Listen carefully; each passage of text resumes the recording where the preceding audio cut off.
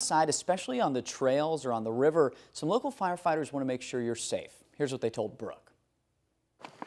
Folds out, we air it up, get it aired up around them, then we're ready to haul them out. They train here often. Usually we get a call about an hour after dark that people are lost and we go in and find them. Stationed a block away from Jefferson Memorial Forest, they know the area better than you do. It has been packed over with the pandemic. Through the spring and summer months, it's a hot spot for social distancing, but being alone on these trails I mean, these hills are steep. has its ups and downs. The forest is unforgiving.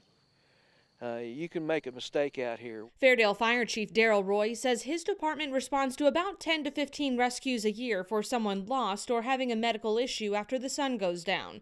They haven't kept track of where they're going, so they have no idea what to tell dispatchers when they call for help. And we've had issues where people wandered off a path and they end up and they're not even in the park anymore. They're, you know, on farmland. The key is to have a fully charged cell phone and know how to send your location to another phone if it has that capability.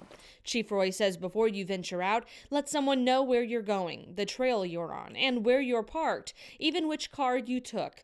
Water bottles, a personal first aid kit, and a flashlight are a must. It's a lot of it's untamed. The thick tree canopy can cause everything to go dark much faster than you'd expect. Where a guy called and he was lost, and we come in with the lights, and he was 30 feet up into the forest. He walked out on his own. He said, I saw the firelight.